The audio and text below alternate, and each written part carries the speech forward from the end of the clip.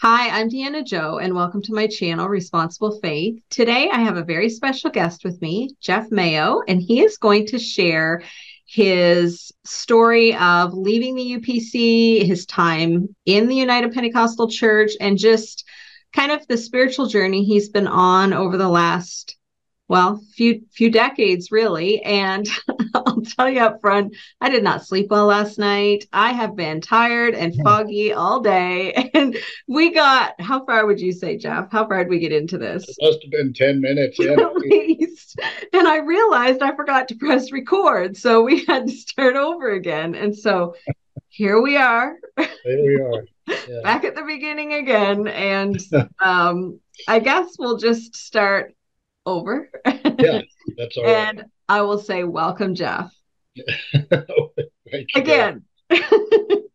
it's really great to have you join me. And let's just jump right into it. And I will okay. ask you how you got into the UPC. Were you born in, joined in, dragged in, whatever? Yeah. So, yeah. Um, yeah. Well, like I said a moment ago when, when we forgot to record, I was not dragged in, although it felt like that at times. Wasn't dragged in. Um, for me, it went like it went like this. Um, my mother is the youngest of three daughters, and her dad, um, I and you know, and I don't want to leave my grandmother out too because she obviously played a big role in our lives. But she's the youngest of three daughters, and they were in the ministry, and they got involved in it before there was a UPC. And somewhere in my closet, I have my my Paul Paul's ordination papers, and it was signed by the the first uh, UPC general superintendent, which I think was Stanley Chambers. So so they went way back, and I my grandparents were were solid Christian people, and there's no doubt in my mind that they love Jesus, they love God with all their heart, and their lifestyle uh, was a testimony that. You know, very kind, very loving people. And how that how I got involved was uh, my parents divorced when I was three or four. It wasn't it wasn't a a clean divorce. It was there was a lot of tension. There was a lot of um, hard feelings and things like that. And I've heard my dad's story, my dad's side of the story, and my mom's side of the story of it. And um, you know, it, with, I, am not an expert on marriage and relationships, but sometimes it's just not going to work. And with them, it didn't. And they tried to protect me from all the fallout of it. But as a, as a kid, when you see your parents split up, it, it still hurts, you know, and, and that for, for many years was, was a hurt on my heart that my parents couldn't get along with each other. And they both remarried. And my mom remarried uh, and I have two half sisters. We are nine and seven years apart. But at age 13, um, things were happening in, in the home that, again, I won't get all into here, but I was, I was distraught and unhappy. And uh, we lived in this suburb of Denver called Aurora. And, you know, at, at this point in time, Aurora and history, Aurora and Denver are so close together, you, you know, you can driving, you kind of can't tell when when Denver ends and Aurora begins in some places. So anyway, um, my dad lived about seven miles from us, and I had plotted this this and hatched this scheme for months that I wanted to run away and be with my dad because um, I only saw him on weekends and sometimes every other weekend, and I missed him so much. So I did, and I you know had it all planned out, and, and surprisingly, it went mostly according to plan, at least the runaway part did. And I got on my little BMX bike and rode it seven miles to his house, which for me just seemed like the journey of a lifetime. I'm sure. But, you know, but I got there and, um, you know, my, my mom wound up not letting me stay, but it sent a message to her. I remember that I was very unhappy.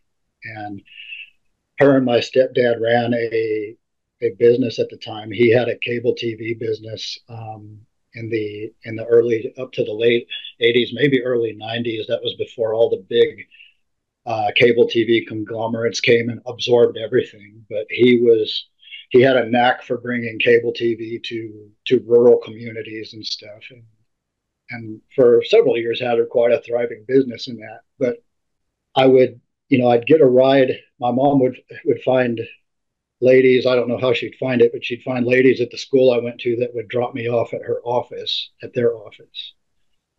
And so I, you know, this was about a month after I ran away, and I went in there one day, and my mom called me into her private office, and she closed the door, and I don't remember all the conversation, but she expressed to me that she knew I was unhappy uh, because I had run away. And she said, You know, there's some things that if you want to live with your dad, that I want him to get an order first before you do that. And that could take a while. She said, Or you can go live with your grandparents, you can go live with Granny and Papa.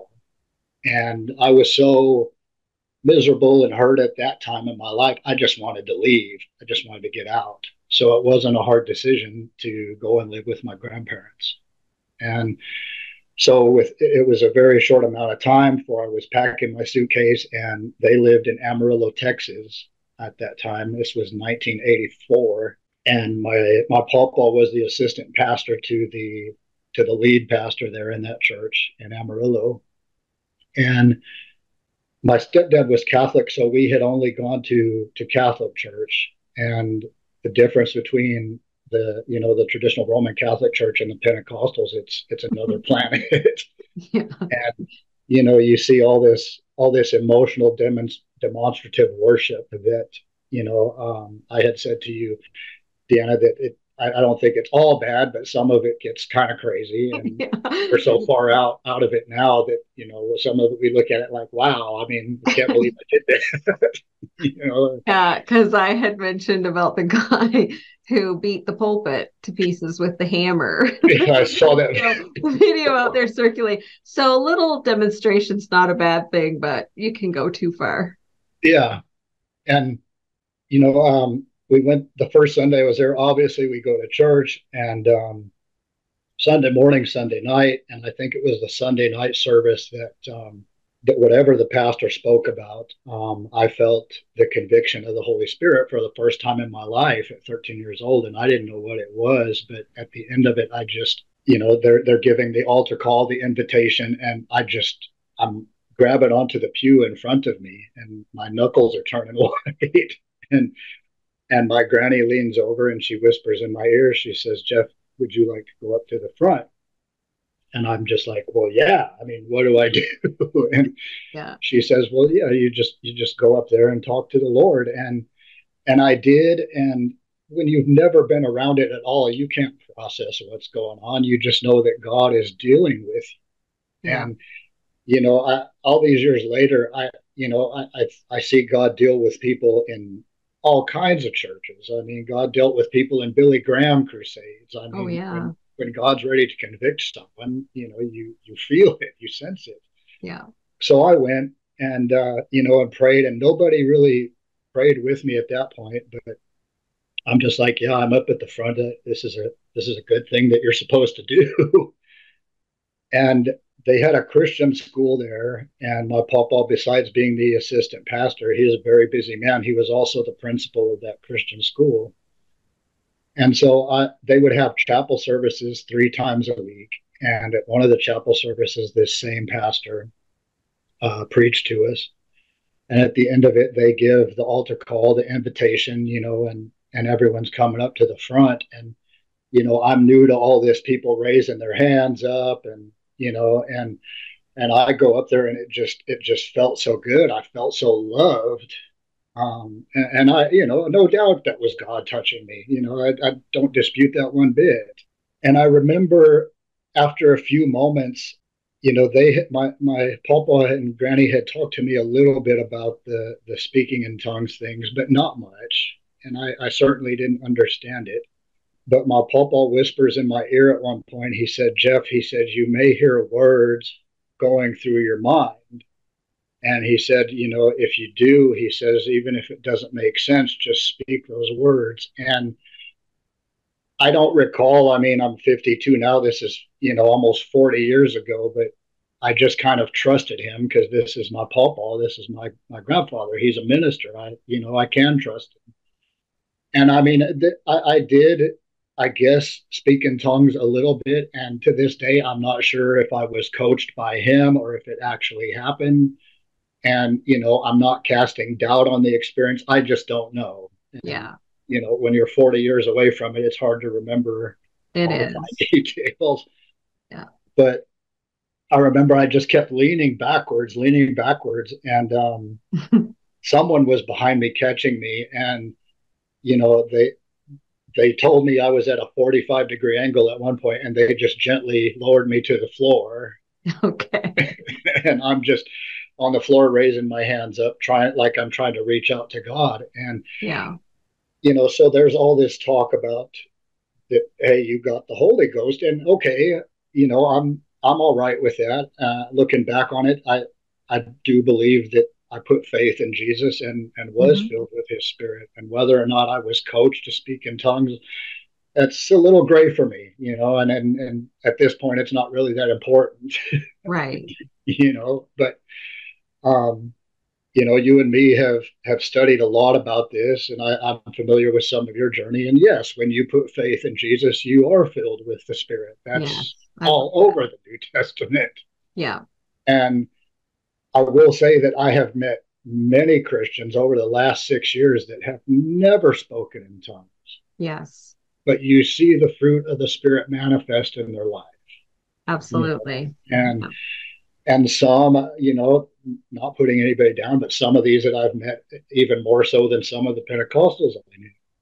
And yeah. Oh, I agree. Not, and it's not of them and it's not just oh they're self-disciplined and stuff. No you you can't make these kind of changes and manifest this kind of love unless god is in your heart. You just i'm convinced you can't. But back to what i, I was i was talking about um, when i got home after that day in school um, my my papa went through the instances in the book of acts where where this happens and, and where tongues happens. And you know we know it's it's pretty much acts chapter 2 10 and 19 yeah and yeah, and you know, and he talked to me about getting baptized and why we need to get baptized in, in Jesus' name and all this. And I didn't really understand it. I'm just trusting my papa. Yeah. And I tried to understand it, but with my 13 year old mind, I mean, we're looking at the King James Bible and he just he would ask me, "Do you understand?" And I'd just nod my head because yep. I, didn't, I, didn't, want to say I didn't understand. Yeah. I tried, you know, and I was so starved to be loved at that point. And, you know, God has shown me again the past six years that there was, you know, just such a lack of, of love in my life. And I wanted that. And it's like when they explained in church what had happened, it was kind of like, well, okay, I got baptized and I spoke in tongues. So now I'm part of the club. Yeah and you know and it just it felt good to feel like for once in my life that i'm accepted and i'm in and not mm-hmm. out. And didn't understand that you know and i'd i'd get excited too. And you know it was it was great at 13 years old where you know i was a fast runner so i could run i could run like six or seven laps around the church. And we had one one little view that stuck out at the end and i'd i'd hurdle over that you know, it, uh, the, you have this experience, but you're still a 13 year old boy. Right. And you're still going to act like a 13 year old boy. Yeah. and, and I like doing the things that, that 13 year old boys like to do. I mean, you know, I like to, like to get in wrestling matches after school and, and jump my bike off the curbs of, yeah. of driveways like it's a ramp and things like that, you know, and play with GI Joes and, and all of that. Um, you know, and and at that age, you're you're a teenager and you're going to get rebellious anyway. You know, I discovered rock music at the time, and that was the that was the coolest thing ever. But I wasn't allowed to listen to rock music. So. yeah. But yeah, so uh, after a few years, things changed, and my grandparents wanted to move back to Denver, and I guess I was about 17 at the time, and all I can say is I didn't want to be back around what I had left. Mm-hmm. And my dad, when I moved to Texas, he was still working for the government, working for the Air Force uh, in civil service up here. and they offered him a job in Sacramento, which is north of where I live in California now. And you know, my my dad took the job, so dad was in California now. You know, he was no longer in Colorado, and I I was unable to see him, and so at at 17, you know, it was kind of just almost the same pattern as when I was 13. I was unhappy. I didn't want to be there. And got in this big argument one time with with my mom and stepdad. And and to make a long story short, I said, you know, if if you don't let me go live with my dad now, the day I turn 18 in April, I'm just going to pack up my car. I'm going to drive to California. And you know, and they didn't like hearing that, but you know, they they knew I meant what I said, so they they let me go. And I had, you know, I had been living with my grandparents, but was, but in Colorado too. But my mom and stepdad were just on the other side of town, so you know we were always around each other. Mm-hmm. Uh, and I never got to be around my dad, and I wanted to know who he was. I wanted to have yeah. the experience of, of living with him and being around him. So at 17, they let me go and moved to Sacramento. And um, I went from having all these restrictions and and rules to my dad who didn't have any rules or restrictions. Well, and you you said you went to the Christian school too, so you would have went from Christian school to public school. Yeah, yeah, and yeah. and that was that was challenging, and and especially when all you've been in up to age seventeen is Christian schools. Mm. It's it's way different. Yeah, I'm sure. And my dad from his second marriage, his wife had had passed away in a very unfortunate manner, but he was he was still in connect in connection with with her daughters and especially the youngest one. And at, at one point she still lived with him. She was maybe a year older than me, I think. So I start talking to her and and she's a different person now too. She's not Christian, but but she had some bad habits. She was, you know, smoking a lot of weed, experimenting with drugs and stuff and she had these boyfriends that that I thought were really cool guys, and you know, and and of course they're very bad influences. And like I said, my dad really didn't have as many restrictions, and his thing was, hey, as long as you know, if you're gonna go somewhere, just tell me where you're at. Mm-hmm. So don't worry about him. But other than that, there there really wasn't much restriction, and you know, he didn't want me smoking pot. He didn't want me experimenting with drugs, and I would lie to him and say I wasn't, but but I was. and yeah. you know, thank God I didn't plunge into it uh, at that time in my life, being 17, 18 years old. But I was experimenting with all kinds of stuff. Yeah. Uh, you know, and things I shouldn't have been. And um, this went on for a few years after, even after I graduated high school. And by then, I had made my own friends and you know my stepsister didn't have to introduce me to people anymore. I was i was finding enough trouble on my own. Yeah. And and i had this moment when i was about 20 and i thought man you know looking back on on things i had learned in my early experiences in pentecost and christianity i i, I knew it was wrong you know even if i didn't have the church you know everybody is telling me and and just society in in general, the mainstream of society is telling you this is not the way you need to live your life because yeah. it's destructive and it's harmful, you yeah. know. And I had this moment where I thought, you know, I I don't want to keep doing this. I I don't want to go to hell, and I need to stop. And the thing was, I wanted to come back to God, but the only God I knew was the God that the UPC presented. And you know, and I'll get into more of this as we as we continue the interview, but you know, they make you feel like there is no other place to go. Right. So I, you know, back then didn't have the internet, but I, I grabbed a copy of the Yellow Pages and I looked up churches, and I just I found this UPC church in Sacramento that uh, you know that was a few miles away, and I told my dad one night I'm going to church, and my dad looked surprised because he, he hmm. knew how I was living. I mean, I was, you know, I was playing guitar all the time in a in a little heavy metal band and, you know, and and doing drugs and partying and stuff. And my dad was kind of surprised and happy. He says, Well, what church are you going to go to? And I told him it was a Pentecostal church. He goes, Oh, He goes, Well, your grandparents will be happy about that. he said, You should call him. Mm-hmm. And I'm thinking, Yeah, I, I should, you know, and and I go there and you know, it was the same type of experiences I had at 13, but but now I'm looking at it at a 20 in a 20 year old mind. Right. And I went there wanting it to feel the same as mm-hmm. it did mm-hmm. at 13, and it didn't. And rather than chasing God, I was chasing that feeling, those emotions that I remembered at 13. Okay. Yeah. If that makes sense to you. Yeah, it does. And they weren't there. And I thought, man, I, what did I do wrong? You know, and I, and I came home and I thought, well, I just, maybe I just need to try harder.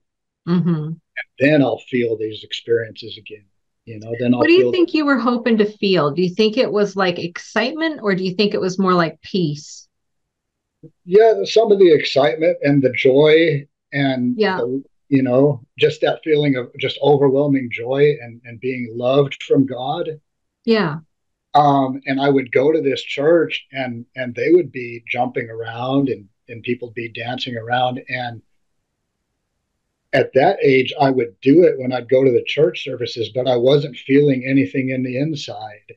Mm-hmm.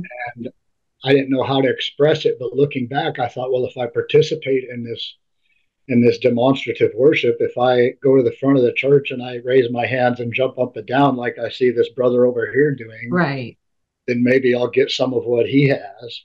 Right. Yeah. And I didn't. And it was so confusing and I, I was just looking for that that same experience, I guess that same high, maybe. Yeah. Yeah. And, and I and I couldn't find it, and I acted like I could, but I couldn't. And so yeah, like my dad suggested, I did call my granny and papa, and they're just so thrilled. Oh, I'm gosh. sure. We thought you, we thought you were gone for good, Jeff. We thought you were lost mm-hmm. forever. Now you came back, you know, and so me and my dad, um, I talked to him and he was able to take some time off and we drove up there to visit them. And initially it was just going to be a visit. I was going to drive up there and come back. And I wanted this experience so bad, like I just shared with you, that at some point I, I think I talked to my granny and I asked her, I said, if I wanted to stay with you and not go back with my dad, would you let me? And I remember her saying something like, Well, I'll talk to Papa about it. But she said, Yeah, I think so. She says, As long as you behave yourself, you, can, stay with Yeah, they were getting too old for your foolishness at that point, right? right. Yeah, they're, they're in their, their late 70s then. And I thought to myself, you know, okay, I'm going to try as hard as I can. My, that was my thought process. I'm going to try as hard as I can to be the best Christian I can be. Mm-hmm and whatever they tell me to do, whatever rules they tell me to follow, I'm going to follow them. You know, to to the tenth power, whatever it takes. Yeah. And you know, my dad was a little disappointed that I wasn't going back with him, but you know, he he obviously left the ball in my court. And uh, a few months later, I I made one more plane trip back to California to get the rest of my stuff and moved out there for uh, to Denver for good and you know living with my grandparents and i did deanna. I gave it my best. Yeah. Know, i gave it my best effort. And i noticed that my papa would get up in the in the wee hours of the morning and he would pray and i would look at that and, and i'd think aha that's that's how you get a hold of god. You know yeah. you get you wake up at 5 a.m and you start praying. And so i would do that and i wouldn't pray talking to God for myself, or how would I say this, the way that Jeff would talk to God. I would try to pray in the same manner as my papa did. Right. And that was looking back, I can say that was his relationship with God.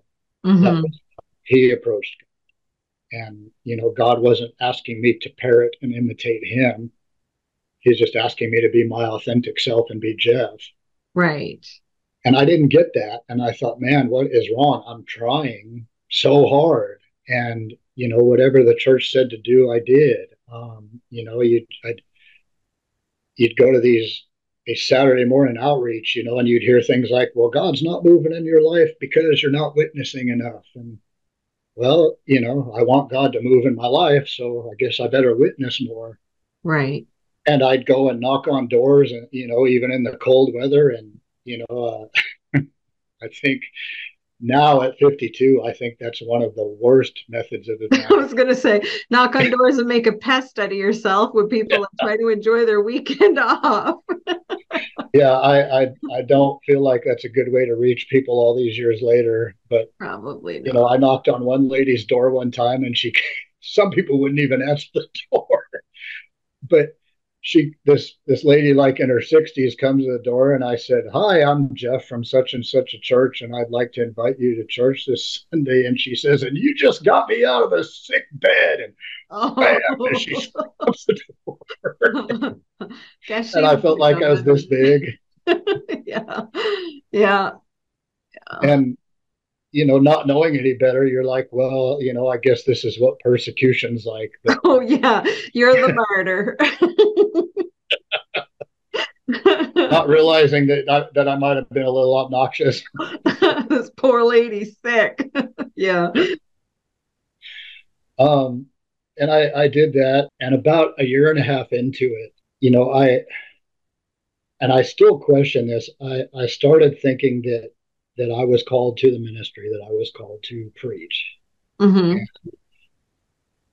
When I look at it now, I'm not saying I wasn't or or even that I'm not, but I'm thinking that I would look to the ministry and I would think here these are the guys that are the closest to God. Yes. And and and see the theme here like I've been saying is I just wanted to be close to God. Right. You wanted to be close to God and you figured the way you would know that is if you felt the feeling that you felt back when you were younger. Right. Yeah. Right. Yeah, you got it. And I I didn't see that then. You know, and I kept chasing after this experience and and never finding it and mm-hmm. never finding peace with God, never finding any assurance. It was it was um, you know, I've come up with a few terms my on my own the last six years, and I, I call it the gospel of anxiety. Yeah, well, really. Yeah. And, yeah, and, and, and in UPC circles, they do elevate the ministry. There's a big clergy laity divide where the clergy is way up here and the average mm-hmm. saint is way down here.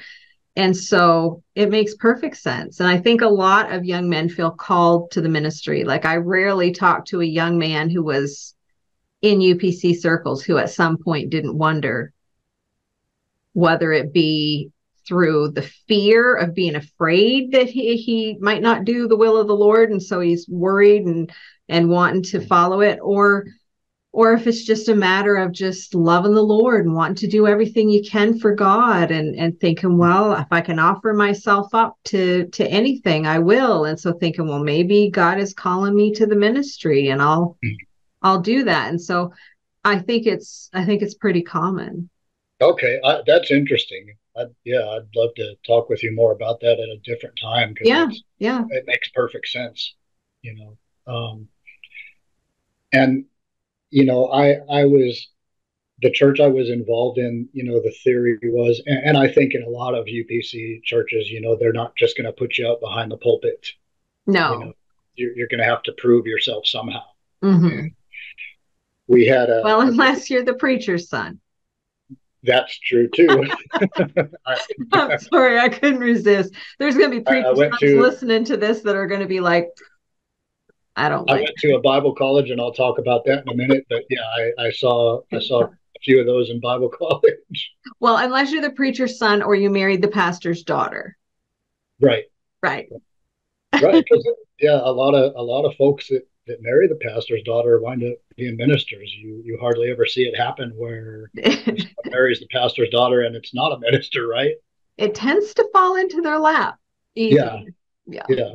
But anyway yeah yeah so back to back to my story um, so we had a group on sunday afternoons that would go to uh, one of the nursing homes in mm-hmm. denver mm-hmm. and we would speak to them and so those were my first experiences preaching was, was was preaching to you know these poor elderly people in a nursing home, and you know it. Looking at it now, I mean, that's great. That's a great thing to do to go to a nursing home. But I mean, I think instead of, of preaching at these people, it would be better to befriend them. Yeah. Show the love of Christ to them, you know, Visit show them, them. Yeah. Yeah. Listen to what they have to say, you know, care about them. And that, that's what Jesus would do. Right. And that's what they need. Exactly. Yeah. Yeah. And, you know, so I would, I would prepare these elaborate sermons and, you know, and these these poor elderly people are, you know, some of them are falling asleep on you, and and here you're just trying to help them with their sinful lives. They're in the nursing home. oh goodness, and uh, and and one lady, um, when it was done, she told me I was boring. yeah, old people they can. Uh, they just come right out with it. They're like little kids. The filter's gone that, she said, well, that guy was boring, you know, and it, it hurt my feelings. I'm 21 years old and this old lady called me boring. oh, but, but yeah. And we, we did have one lady that, um, that finally did come with us from that. Uh, she had diabetes real bad and had kind of lost everything. And, and, and she did come to come uh, to church with us for a, a certain period of time until she passed okay. away. Yeah. You know, so somehow, you know, God used our mess to reach her. he can um, use anything, can he? Yeah. uh, and you know, and finally, I was allowed to to preach out at a couple of different churches. Um, one of the other ministers in the church uh, would go out and preach with him, and he was kind of like my chaperone. You know, mm-hmm he would preach a little bit, I'd preach a little bit, and um, wound up going to Bible college finally out out in the city I live in now in, in Stockton, California in 1993, in the fall of 1993. And you told me you had family members that. Uh, yeah, I did right around then. And I graduated in 94. Okay. So I I would have, I didn't go there. I went to a Bible college here, but it was just a few years later. So okay. we were all blessing the Bible colleges with our presence right around the same time. um, so you know, I, I get out here and man, you know, I'm I'm 22 years old at the time, and yeah, you know, you're going to be on fire for God and and change the world and be the next conference preacher for sure.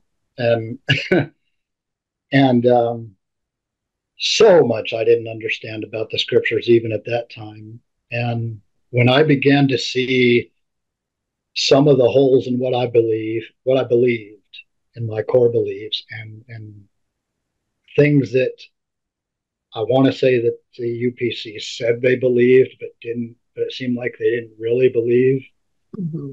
as far as grace, as far as mercy. Yeah. And you know, I want to talk about this today too. There's so much performance-based acceptance is the term that I that I heard a few years ago um, in these denominations like this, and it's in the UPC, and it's not just the UPC. There's, you know, I've learned that there's other others out there that, you know, that have that same problem. Oh, for sure, yeah. Your acceptance is based on how much you perform, how much you do. Yeah. Um, the problem is you can never do enough you know and if you're trying to earn your way with god if you're trying to to merit grace you're never going to. No. You're never going to. And you learn at some point that this grace that you want so bad that you already have it. Yes. But i didn't see that. And what started to change it for me was that freshman year after i would do all the homework i'd try to I'd try to have my own devotion time. And I was reading uh, something out of, I'm, I'm, rusty on the location in the scripture, but I think it's Matthew chapter 9. But this is where, where God just kind of opened it up for me and it, and it began to change. I began to see the light uh, that it's after Jesus meets Matthew and he goes to his house to have dinner. And the Pharisee is criticizing as they always did, they say to the disciples, Well, here's your teacher eating with publicans and sinners. And Jesus overhears that and he says, You know, he says, if if you knew what this means, he says, Go and he says that I will have mercy and not sacrifice. And he tells them to go and learn that. He says, Go learn what this means. I will have mercy and not sacrifice. And I'm paraphrasing, but Jesus says if you if you can get your minds around this concept, you'll stop condemning people. And I, those words, it was almost like it was another language, you know, like they say it was. I could have been reading Greek off the page. I didn't at the time understand what it meant. And I prayed as I'm pacing back and forth in my dorm room, God, show me what this what this means because I don't even understand what this says. And a couple chapters later, it talks about the disciples are walking th- and Jesus are walking through uh, a grain field and it says the disciples are so hungry they start picking off little flecks of grain and eating them. And it happens to be on the Sabbath. And the same Pharisees come and nitpick at them again, and they said, Hey, your disciples are eating on the Sabbath. And, you know, and Jesus isn't so concerned about that because his response, he says, Well, did you ever read when David went into the mm-hmm. temple and ate the showbread that he wasn't supposed to eat? Yeah you know, David wasn't supposed to do that, and God didn't strike him dead. But the poor Jesus, paraphrasing again, but Jesus saying the poor guy's hungry, and he Jesus reminds him. He said, "If you had learned what I told you, that I will have mercy and not sacrifice, you would not have condemned the guiltless." Mm. And Jesus says they're guiltless, and he's quoting out of Hosea chapter six. But the idea that I that I started to get, and, and it was like God turned the light on for me right then about this concept that God wasn't so much interested in my sacrifice as he was giving me his mercy. And I saw that and it was like Deanna in that moment, this this thing I've been sharing with you of, of wanting to feel this experience and this love and acceptance with God. When I understood that concept about mercy and not sacrifice, it just it just hit me like a ton of bricks. And I remember I, I, I, set my Bible down on a shelf and I just thought, wow, God, does this does this mean what I think it means? Mm-hmm. And it did, and it was about mercy. And I'm thinking, why don't we teach things like this? How come nobody's ever preached a sermon about mercy and not sacrifice? Mm-hmm. You know, because all the things I hear is about how much you're not doing, and you need to be more, and you need to give more, and you need to do more and people are running themselves to death in this organization, doing everything they can and and uh, performing. Yeah. And they don't feel like it's enough. Well, because it's never enough. Right. And and we don't have to make that sacrifice to get righteous because Christ made it for us. Mm-hmm. And I started to see that, and I thought, you know, okay, this is this is new, this is different, but it's in the Word and nobody talks about this. And my whole paradigm, I guess, as they say, started to shift. And I, I retained that for a while, but you're immersed in this Bible college. You're immersed in in the same idea of performance. Yeah, it's a culture. Yeah. Yeah. Excuse me. And I got I got so frustrated by that and at times confused because I'm like, well, the word says this, but they're also saying all this stuff and you know people would throw james chapter 2 at you you know it's faith without works is dead. And you know god showed me that eventually what all, what all that meant. And to simplify that james is not saying what what christians do to be saved. He's saying what saved people do. Right. Exactly. And, true faith produces works. And yeah, it, it's just it can't help it yeah and it's not it's not a condemning thing. He's just saying this is this is mm-hmm. kind of a litmus test that says your faith is genuine. You know it's a right. changed life. But didn't get all that at the time and i just got so frustrated you know and burned out because i was seeing one thing but like you said i was immersed in the other. Right. And you know i i, I couldn't do it.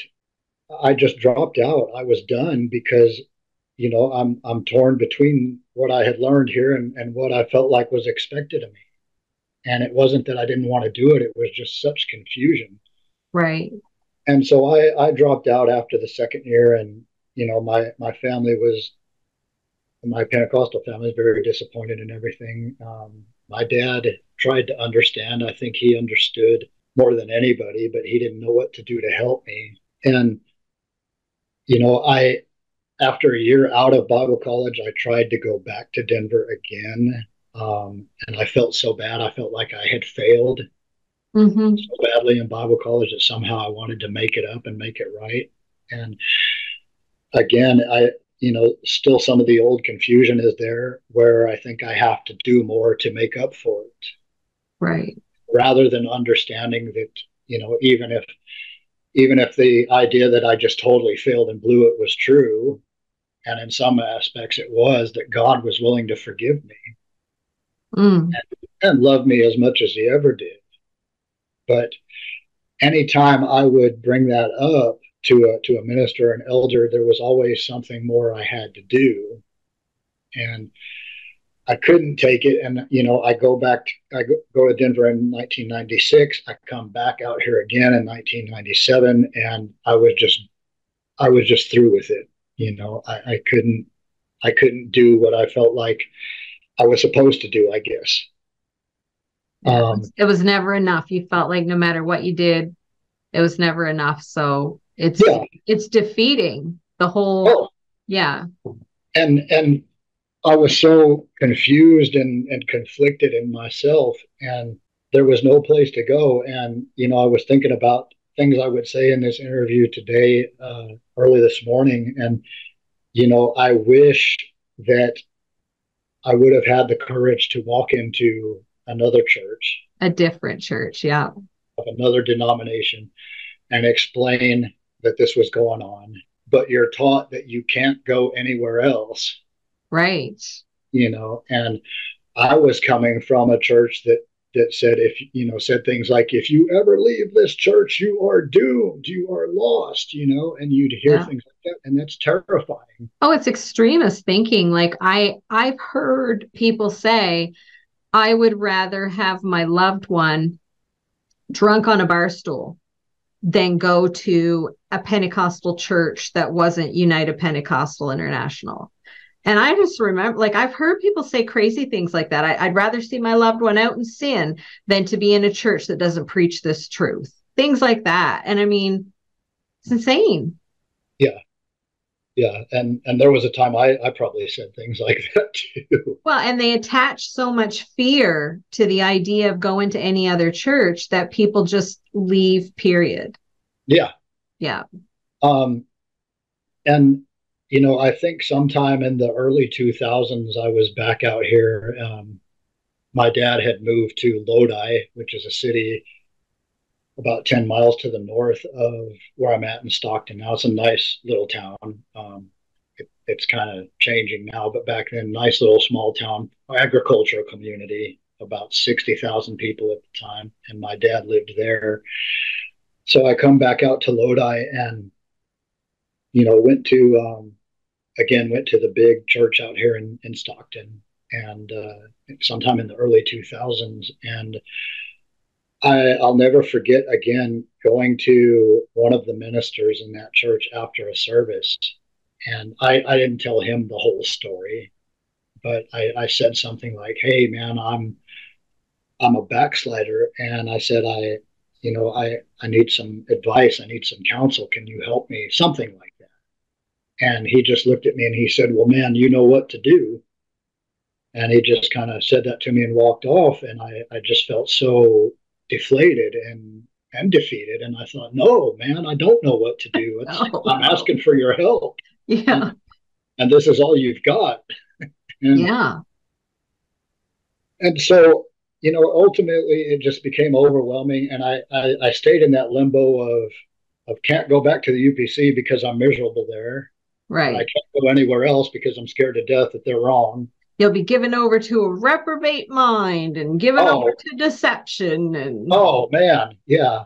And you know I, I, had quite a few unproductive years of, of life where i was just wandering around in that limbo.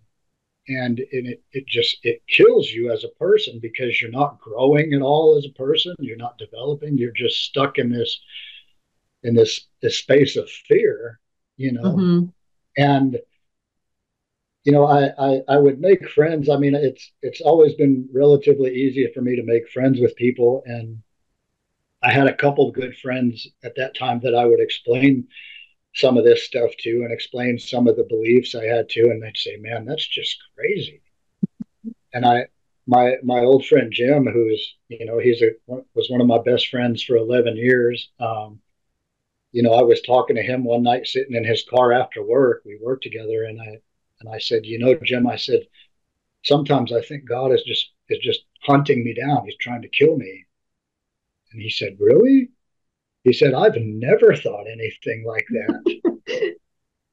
you know, just so foreign to his thinking, but that that was how I felt. And back in 2000, January 2000, my dad had this massive stroke, um, just totally debilitated him, changed his life forever, and he only lived a few years after that, um, and had a second stroke in a couple of years and I was taking care of my dad. We we tried to put him in a, a nursing home, care home, and he was in his mid 60s, and I just couldn't stand that when I go in to visit him. And that's know, young. oh man, yeah, and, and poor dad didn't take care of himself, just ate horribly, and you know had smoked a lot of cigarettes for a numbers of years. So, you know, yeah, I, in a way he did it to himself, but you know, still he he's a human being like anybody oh, else. Yeah. And I mean, that's a lot to deal with at that age. Like, I can't even imagine. Right. And I, I was in my early 30s at the time. And I just thought, you know, I, I, I don't know what to do. I, I, I don't have any caretaking experience, but I can't leave my dad here. Yeah. Can't leave him in this in this home. Just wait for him to die. So in 2001, you know, he had his retirement income. I was working in between our two incomes. We could live pretty good. Mm-hmm. You know, got an apartment in the city Lodi, and I took care of him the best I could. And you know, would would sometimes go to a UPC church, sometimes not. I would take him with me, and that was just so hard because he was in a wheelchair and I didn't have any help, and you know, and all of that.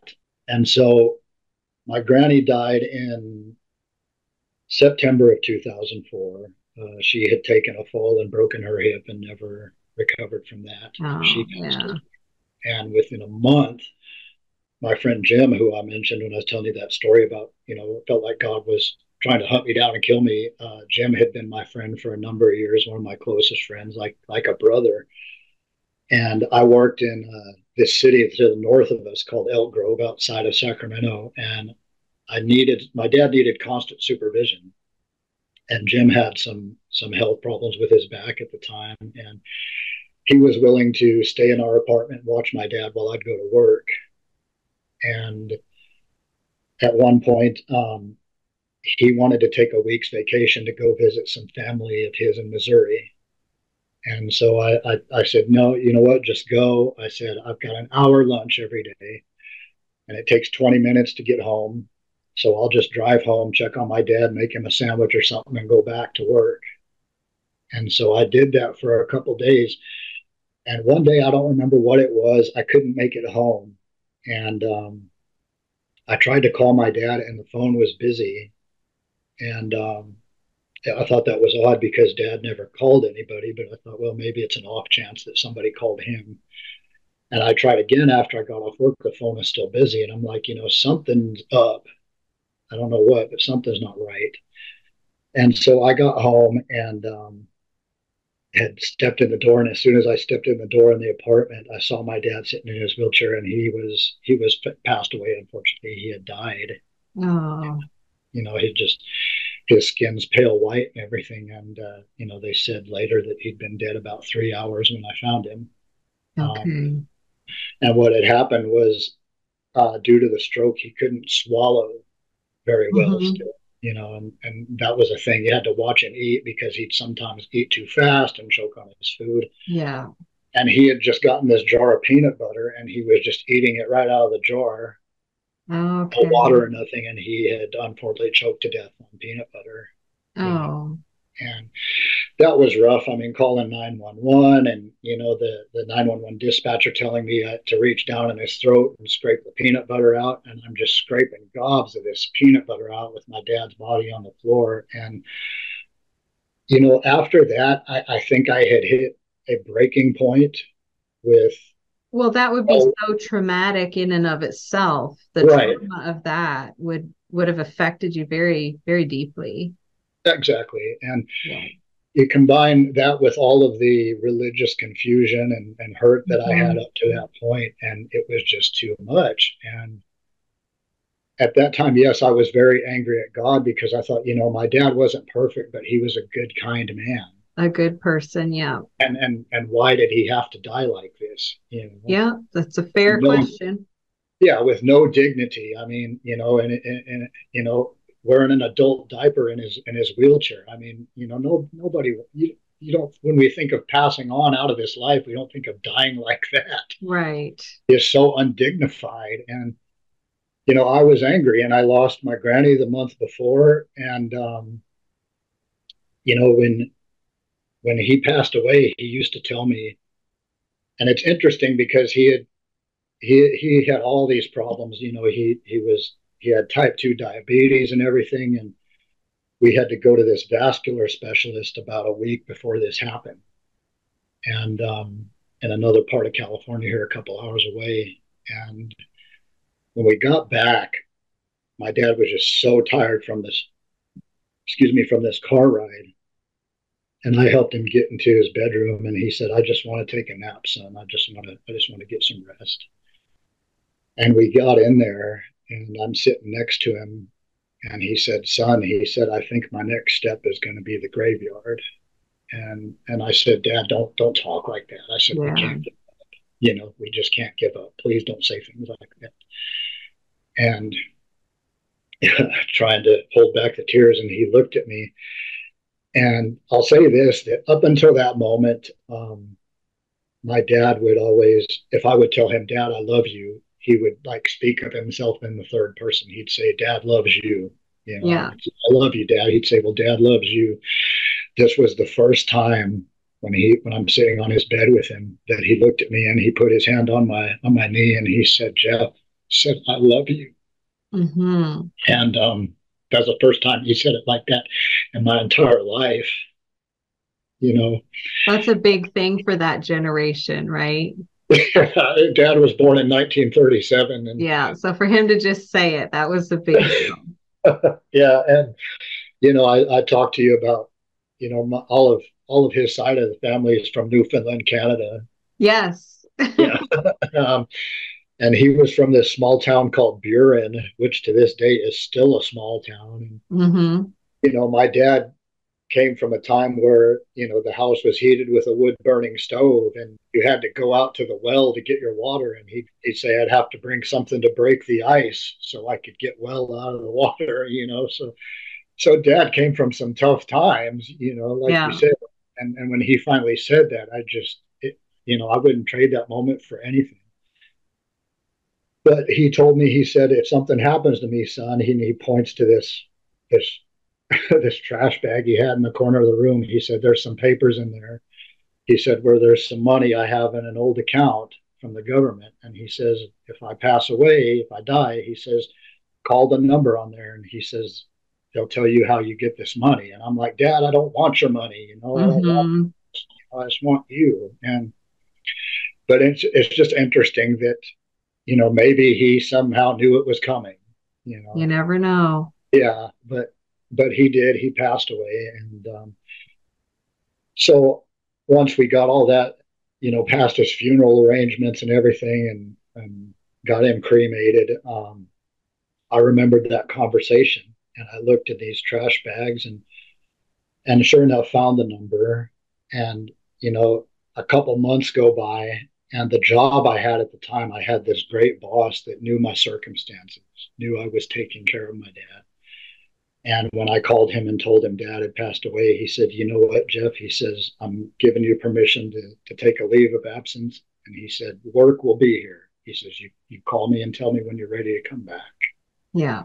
He says, I, I don't even want you here right now. You know, you need to deal with this. and you know, very nice of him. Um, but I called this number, and obviously was not was far away from God at that time. You know, I've I've told you my my whole story up until this point, and I started smoking pot to medicate the hurt. Mm-hmm. You know? uh, I mean, pot goes right to those endorphins and everything, and fires off those chemicals in your brain where you just feel you feel good and you feel high and you feel happy. And when I'd called this number and they got all the information I needed, you know, I think I remember asking them, okay, uh, so I'm going to get all this money da da da da da. And I, I asked the lady, okay, she says yes. And I said, okay, how much money am I getting? And she said, well, there's $18,500. And when you're in the state of mind that I was in, you don't need a large sum of money no. coming no.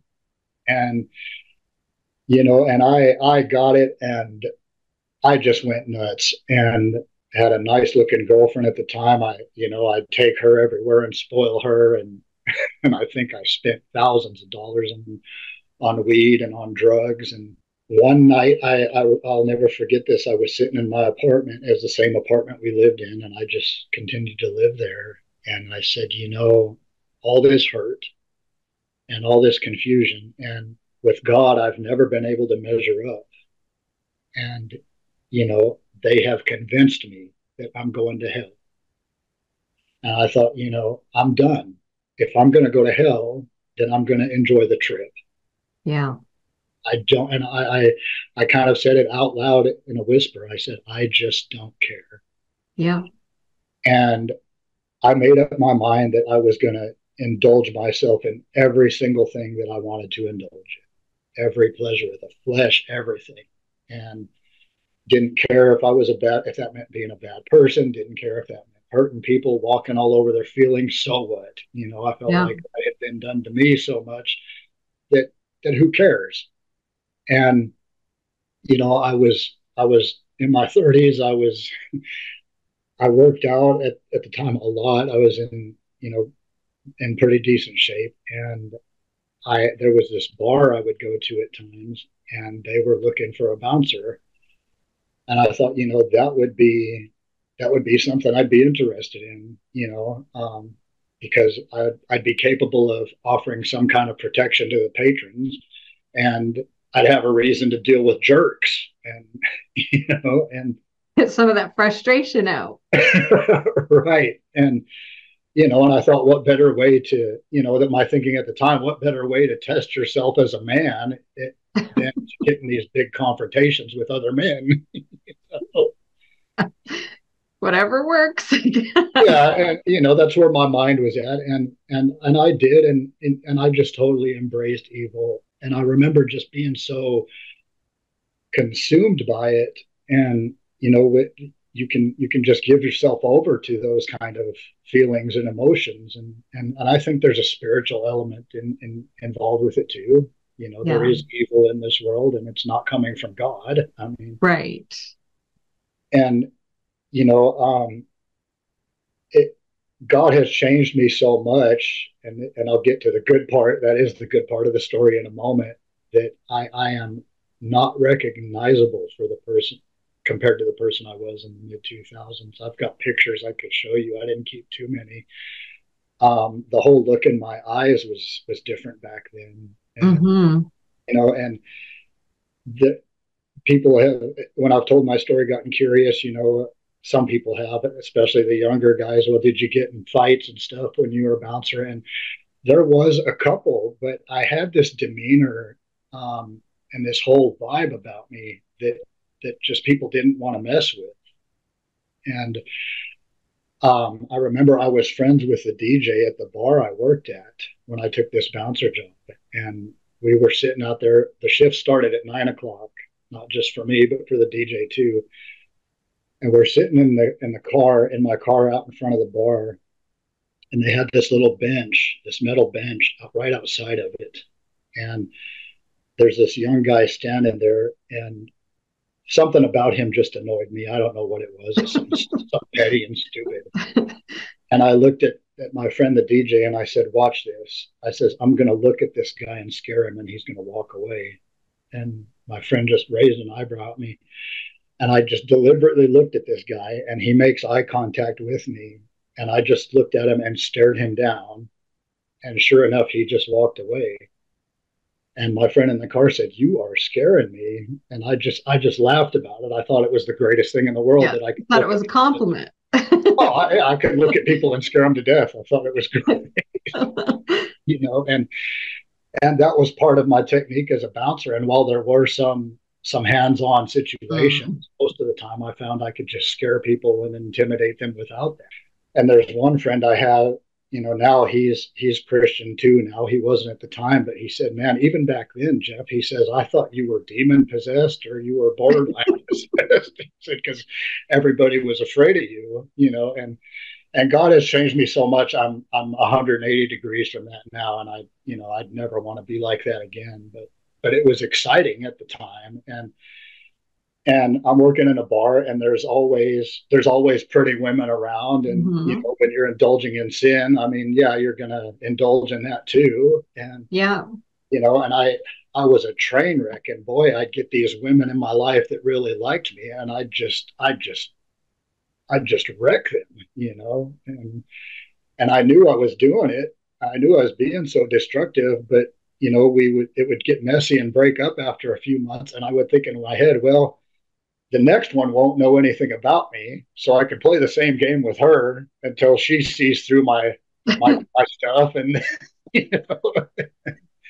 And it's i mean it's it's funny but it's not funny. Right. Because you know there was a lot of hurt involved and i i just did that over and over and over. And within a few years my lifestyle started to catch up to me and i met this lady real sweetheart of a woman. We're we're in touch to this day and at one point had asked her to marry me, but I was such a train wreck that she didn't, and it's it's good that she didn't at the time because I hurt her enough. but um, I told her, and I think I brought this up to you last month when we initially talked. I said, you know, I want to get involved in a in an outlaw motorcycle club, you know, something like the Hell's Angels. You know, that's I said because when those guys show up, their reputation precedes them, and and I thought, you know, nobody messes with these guys and I would fit right in. And she said to me, she said, you know, if you do that, she says, I don't think I can be with you. And mm.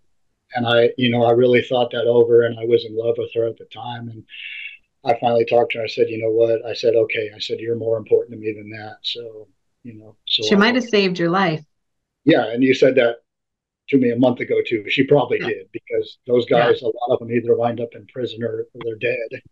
For sure. Yeah. Um, yeah. Sin has an allure, but it also has a payday. Sure. Yeah. And and there was little things that happened. I mean, one weekend uh, I was scheduled to work at the bar, and I, I asked for it off, and the the bar owner gave me that time off, and there was a young man that went in there, and the bouncers threw him out for something that he did and he came back with a pistol and started shooting in the bar and he killed someone that didn't have anything to do with the altercation. Oh my goodness. And if i had gone to work i would have i would have been one of the bouncers there that night. So so you never know. Um, you don't. but um you know the the lifestyle like you said the payday finally came and it started to take a toll on me um, emotionally and in my life. I mean things just got messy in every single way. Financially, I mean, I in 2006, the only time I wasn't stoned was when I was asleep, and I got in my car one day, and me and me and Sue had these two dogs, and and I love dogs. I love spending time with dogs. I love training them. You know, I read a lot of books about that, and that was one of my favorite t- pastimes was training and spending time with the dogs. And my dog had done so good at one point. I was really proud of his progress. And I was going to Petco. I don't know if they have Petco up there, but it's one of these Not big, sure. one of these chain pet stores. But I know what it is. Yeah. Yeah. And I was going to get him some dog treats, and I was high as a kite when I walked in there. and my dog's name was Harley, and I'm getting, I'm picking out these treats for Harley, and I'm walking through the parking lot just stoned. And I'm like, man, I'm going to drive back to the house, give the dog these treats. Dangerous. And so I get in my car and I'm, I put in a CD and uh, I start creeping. I put the car in drive and I start creeping. And I give it a little bit of gas and then boom, there's this sudden stop. And I ran into a light pole that was totally obvious in the parking lot and you know, and I'm stoned out of my head, and I'm and I'm like, well, this is going to be fun to explain to my girlfriend. Probably a good thing it kept you off the road, though. right. Yeah, and uh, totaled the car. Um, you know, and and there's just several things that, like you said, begin to happen where the where you start getting where you start reaping the consequences of what you did. Sue and I eventually split up, and um, we're good friends to this day. But you know, she's she's in a relationship with someone else and she's very happy and I'm happy for her. But she was, she tried to help me. Uh, she was one of these women that tried to save me, and, and some mm-hmm. women do mm-hmm. that. Try to save a man, and you know, and the man can't be saved, not by her at least. Well, you have to want to save yourself. You can't fix anybody else. Right. Yeah. And you know, we split up and the consequences start hitting me and my of my lifestyle. And there was all kinds of things I don't have time to get into. It's, you know, you mentioned I mentioned getting locked up and it and I've I've been arrested and gone to jail and stuff. And it is actually a miracle that I'm not in prison because I did a lot of things that that could have sent me to prison. And, mm-hmm. you know, I thought I was being clever or whatever. Um, but you know, I think if I'd have kept playing the game, it would have happened at some point you know. So in in 2008, she and I started to split up, and um, again, I'm like, I need help. I need to change. And again, I go back to the UPC, and you know, I, have thought about somebody's going to watch this and say, "Well, you were just back and forth, back and forth. You just love the world." No, it wasn't so much that as that I had had so much rejection and so much confusion that um, and it felt hopeless. Mm-hmm. that i you know I, I couldn't go back there and it felt like i couldn't go anywhere else. And in my hopelessness it wasn't so much that i loved the world it just felt like there was no other place to go. Right. And i wound up where i said well if this is it and this is just my destiny that i'm going to be lost then then i'll just embrace it until i die and um, when I went back this time, I, you know, I, I still had some of that. Okay, I'm going to try as hard as I can, do as much yeah. as I can again. And um, there was, you know, there was other things I began to notice that just that were just off. And this church I went to, this pastor one night, he was. This was kind of the final, the final straw for me in the UPC, where he was preaching one night and he quoted out of Hebrews where it talks about forsake not the assembling of yourselves together. And, you know, so much the more you see the day approaching. And if we continue to sin after we receive the knowledge of the truth, there remains no more sacrifice for sin. And he ties all that together and he says, I have studied this. And he says, This is what I've concluded. He says that if you're not in church every time the doors open, you're jeopardizing your salvation. And I thought about that sitting there and I thought, you know, I'm a Bible college dropout, man. And I know that's not what that verse means. and, exactly. You know, and and not that we shouldn't go to church. I go to church now, but I, you know, my my salvation isn't dependent on getting right. there every time the door opens. Well, and it's a good thing because you know things can happen, pandemics, Right. PTSD, chronic that health issues. You know, yeah. a person never knows. And so your salvation is not tied to church attendance in a building, it's tied to Christ. Sure. Yeah. And I, I mean, I love, you know, I go to a non denominational church now and I love going there, but, but it's like Jesus says that the Sabbath was created for man, man wasn't created for the Sabbath. Right. Yeah. you know, we're gonna we're gonna make another another rule, another requirement, another rule, and and throw another rock on everyone's back, and you know, yeah, as if they're not carrying enough. Right. Um, And so after that experience, I left and I did go to a, a, a non denominational church and it felt good, but I just wasn't ready to trust it. Yeah. I wanted to, but I wasn't ready. And I, I didn't live so destructive anymore, but all of the consequences, like I said, of my lifestyle for so many years just began to hit me and were weighing so heavy on me. And I just sank into this depression. And it lasted about nine years. Mm. And it got so bad that I couldn't even concentrate. Um, it's a long time to be battling depression. Yeah. Um, you know, and I was diagnosed with it professionally by both a psychologist and a psychiatrist, and you know, one of them told me, um, you know, you don't you don't just have depression, Mr. Mayo. You have depression and anxiety. You're just kind of sandwiched between the two of those, and yeah. and prescribed me, you know, Xanax and something else, and I was taking that, and that didn't help. I mean, the pills don't help. They just, you know, they don't solve your problem. I think it can be part of the recovery process. I'm yeah. Not, I wouldn't tell anybody not to take medication. Stabilize you enough to the point where you can start to work through some things till you get some healing, but yeah, yeah. not the answer. Answer. Yeah.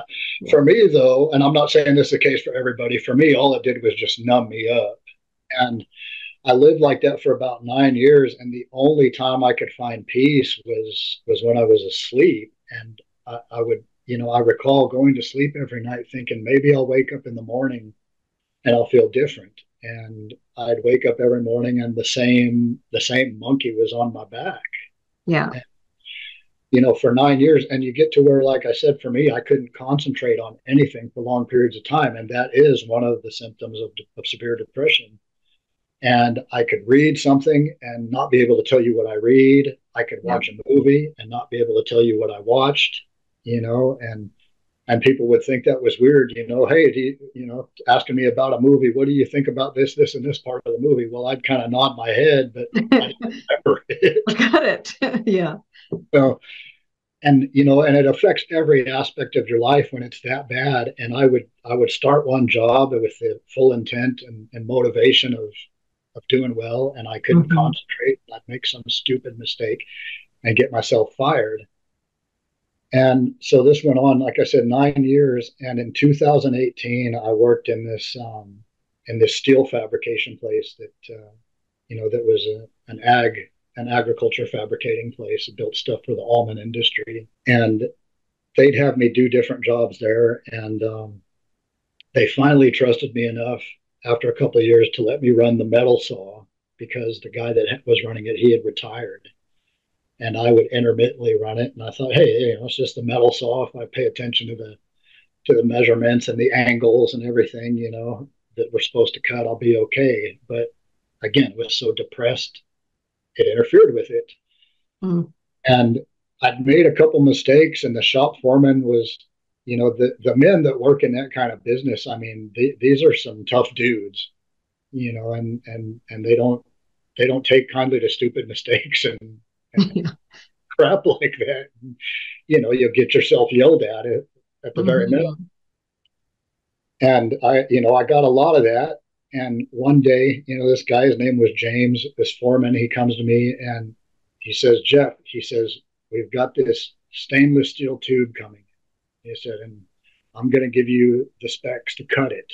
Now, in its raw state, he says, this piece of material costs $18,000 and he says, You cannot mess this up. And he says, Before you cut, he says, You need to check everything on the saw, make sure everything's lined up at the right angle, and then you start your cut. So I'm kind of nervous and kind of scared, but I thought I checked everything. And, you know, this part of it, it's, it was kind of not, not 100% my fault, but I could have been paying more attention. But there was a, a spot in the back of the saw, one of the knobs had been broken. And the way, the only way to stabilize it was to get back there with a big pair of vice grips and clamp it down. And they just never fixed it, you know. But as long as you clamped it down right, it, you know, it was, it was supposed to stay there. And most of the time it did. so I I turn the saw on and I start this cut and I'm watching it go into this this big piece of stainless steel, and it it, it looks good. It looks good, and it, we're going a couple inches in, and I'm thinking, man, I'm fine. You know, I can just kind of turn around and look at something else, and I'm looking away for about five minutes, and the vice grip had slipped in the back by about two degrees, and I could see it starting to drift and I got scared to death. And there's an emergency stop button on it. So I slam my hand down on that and I go running to the front office and I tell James what happened. And, uh, you know, he just, his eyes get real big and he walks back there with me. And he looks at me and he looks at the piece of material and he goes, Jeff, he says, I don't know what to do with you. I don't want to fire you. But he says, You put me in a pickle. He says, I don't know what to do with you. Do you know what I should do with you? And this is a guy who's most of the times yelling at you. he, he was so upset he couldn't even yell at me. and I felt so hurt and so humiliated. And, you know, you can't tell your employer that, you know, I've, well, man, I've got severe depression. That doesn't matter to him in that situation, you know. And so they figured out a way between him and the general manager, they figured out a way to make it work. And I went home that day and was so defeated. And I walked into the bedroom and I hadn't prayed in about nine years. And this is where the story starts to get better. Um, and I shut the door of the bedroom and I looked up at the ceiling like I was just looking at God. And I said something like, Lord, I said, I know I haven't talked to you in many, many years. I said, I don't even know what to say, but I want to come home. And I said, I don't know where home is either. But I said, if you'll have me, would you just let me come back? And began to cry for about 30 minutes. And it was the kind of cries where you're just having those big sobs. And my whole body's just shaking. And that was all I could do. And, you know, the snot's going everywhere, the tears going everywhere. And um, it went on for about half an hour. I couldn't find any words. And I stopped to breathe after about half an hour. And I just, I heard it like a whisper, like they talk about the still small voice of God. And it was like God was saying to me, You're forgiven. And I, I just was so focused on those words, I could hear it somewhere inside me. And I looked up at the ceiling again and I said, Really, God? Really? You, you'll forgive me? And it was like an echo. And it was like the Lord just telling me again, you're forgiven. And I just, I, I, I kept saying, thank you, thank you, thank you. And I'm just crying and, and, you know, saying things like, I love you, God. Thank you. I love you. And when I caught my breath again, I said, Lord, I want to go to church. And I said, but please don't make me go back to the UPC. and, and I said, you know, I said, you know what I have learned about that, Lord. And I said, if if I have to, I have to. But I said, if there's another way, I said, please show it to me. Please help me.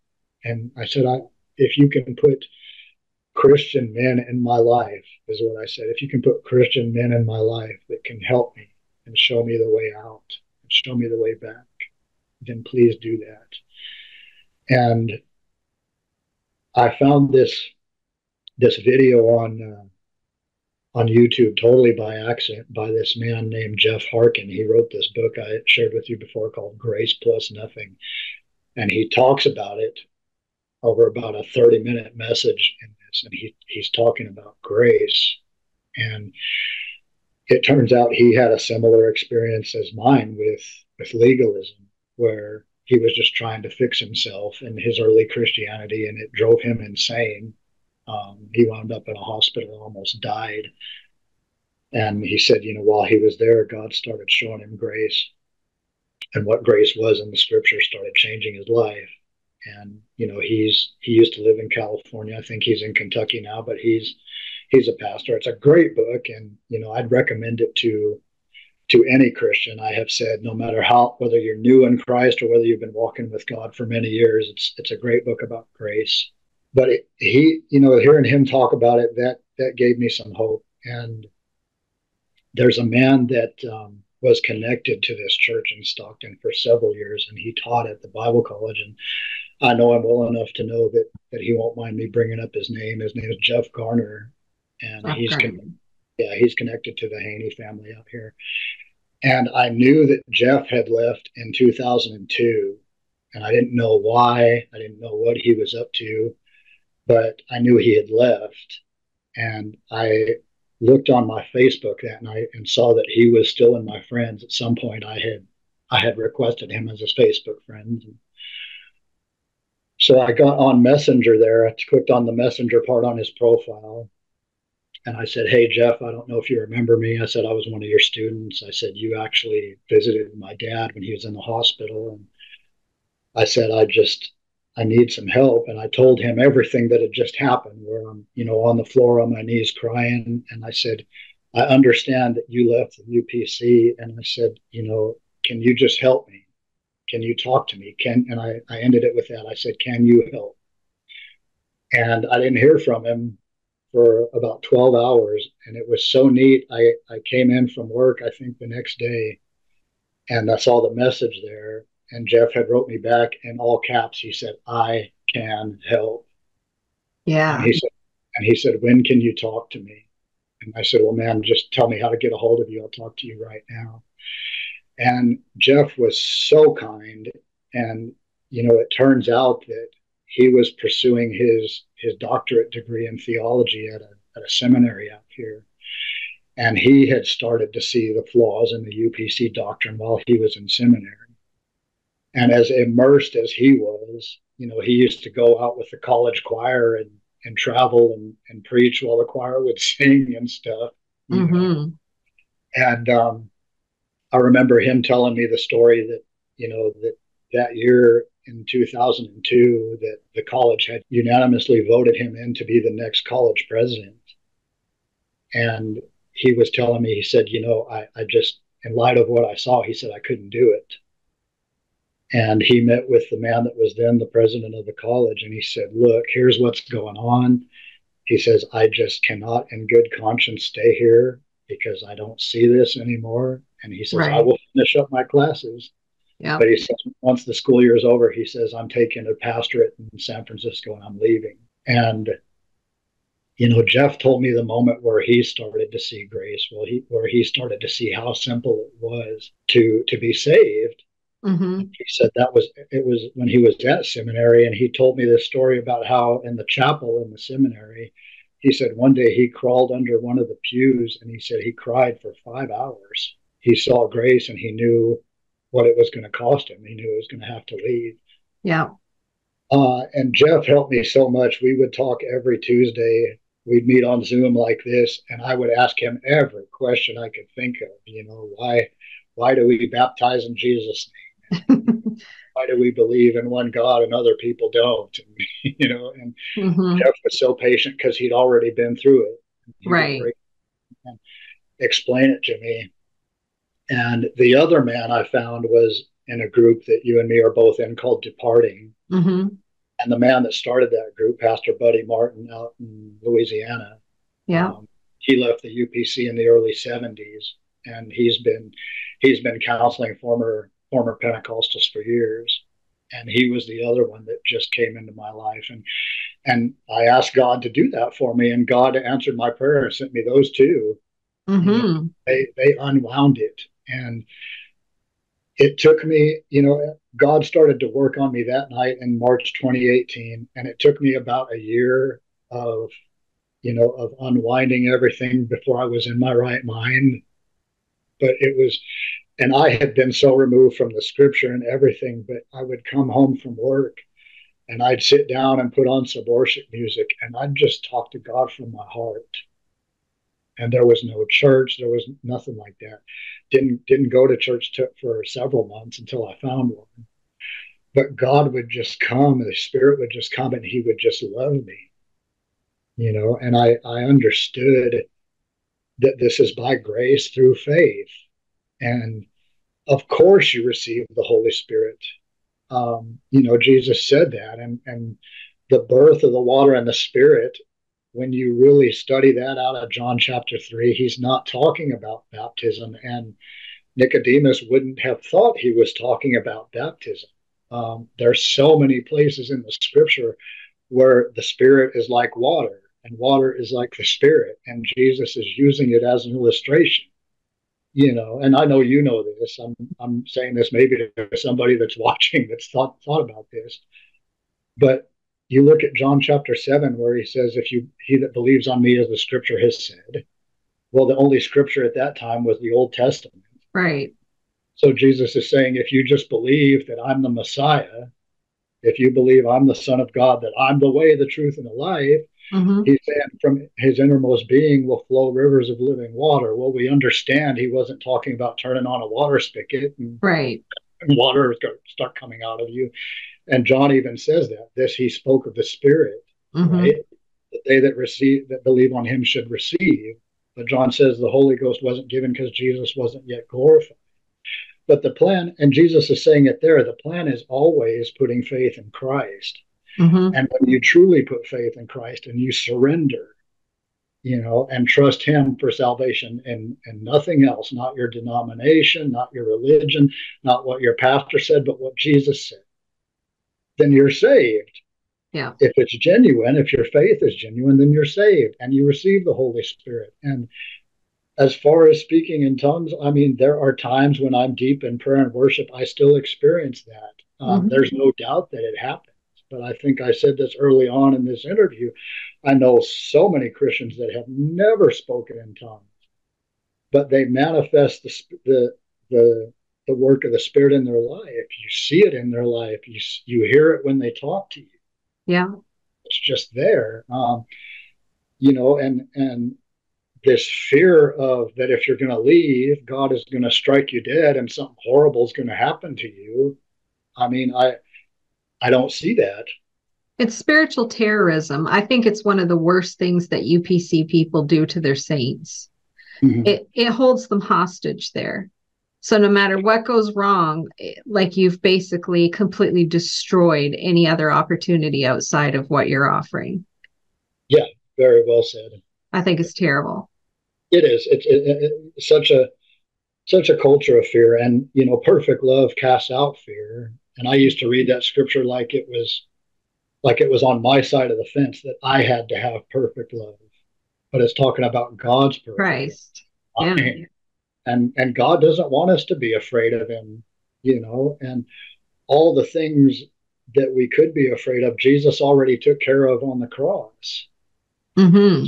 You know, so because Christ absorbed all of our punishment for sin, we don't have to be afraid of God. And that's that's just beautiful. You know, I can come and talk to God and, and I'm welcome. Yes.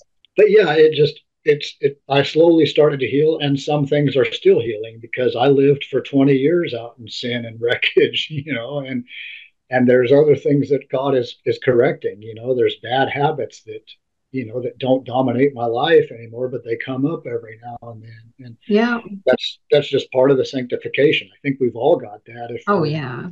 truly following christ. But you know, my message I would say to anyone, because I know there's other people out there like this, if you think you've gone too far and you think that, you know, that you can't be redeemed anymore, if you think your life is just a total mess and God's not going to save you, I, I don't believe that.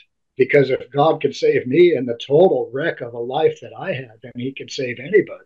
We're never too um, far gone.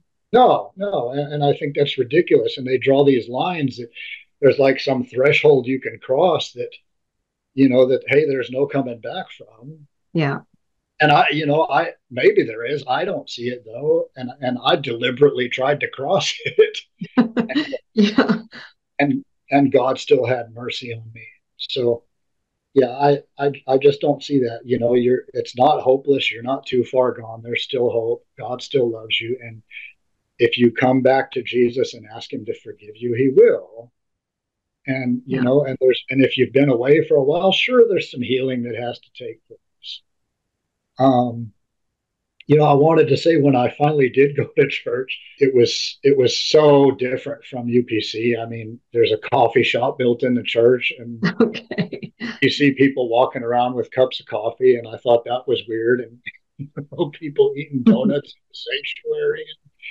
you know, and I thought, man, you just, you, are they supposed to do this? Is this allowed? but I remember the first time I went there, you know, they start the worship music and I could feel the presence of God as much as I did in any UPC church. And there wasn't all this wild activity going around, but you see people raising their hands, you see people with tears running down their cheeks. And and you could feel God's presence there. And I kind of smiled the first time I went and I said, God, what are you doing here? I said, You're not supposed to be here. yeah. And but but he was. And you know i've discovered that in any church there's people that are that are on the fringes mm-hmm. that, that, aren't really you know i guess in it like they could be.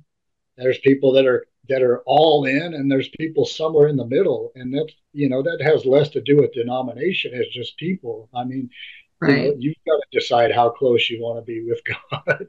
Yeah. But you know to to say to say that somebody's saved or they're not saved, I don't do that anymore. That's God's business. Mm-hmm. I can tell you how to be saved, but after that, I, I can't tell you whether you are or not. Um, so yeah, and you know, um, about a year after I got I got baptized again. Not mm-hmm. that I had to so much, but when I was 13, I didn't understand what I was doing. Right. You know, and now I I more fully understood what it was about and why we did it. Mm-hmm. And, uh, you know, the same man, Jeff Garner, he baptized me the second time, and I had a full understanding of what was taking place. But you know, uh, we're we're saved by grace. I mean, uh, there's so many things that Paul taught that that points to that in the book of Romans and the in the book of Galatians. You know, Paul is talking about that too, just over and over. And you know, it, I think he's it's him that says at one point, if you know, if it's grace plus works, then it's no more grace. Again, that's what Jeff Harkin gets at in this book. That's why it's grace plus nothing. There's nothing else. And in that, you know, in that uh, message, that teaching he did on YouTube that I talked about, you know, he says, everywhere I go, he says, people look at me like I'm kind of crazy. He says, I'm sort of used to it. And he says, they tell me that well, I know we're saved by grace, but, and he says, hey, if you put a but on it, if you put a butt on it, I'm out. yeah. Um, it's, it's just grace or it's nothing. Um, mm-hmm. So, well, it's grace or it's nothing, no matter how hard you try, because we're all just still people and we're right. going to mess it up. That's the only sure thing. The sure thing is we're going to mess it up. So either he did it all or we're doomed. That's thank you. Yeah. Couldn't have said it any better. so, spiritually, you landed in the grace of God. Right. Yeah. Right. And, and you know, to to from a place where so many people told me I was doomed. Mm-hmm. I believed at one point I was doomed myself. Yeah. And when I went running back to God, He was right there. Mm-hmm and and when I did, there was really no other place to go but God. But he was right there. And you know, one of my favorite passages of scripture has become where Jesus in Luke chapter four, there's the record of him walking back into the synagogue that he grew up in. And he takes that scroll and reads from Isaiah. And he says that one of the things he came to do was to bind up the brokenhearted. Yeah. I mean, that's me because I was so broken. And you know, I will I will still have those moments where I'll just get alone with God. It doesn't have to be in a church, and I will thank Him that He has healed my heart and He has bound it back up. And there's still some things that are that are being healed, and you know, and I hate sometimes that I lost so many years.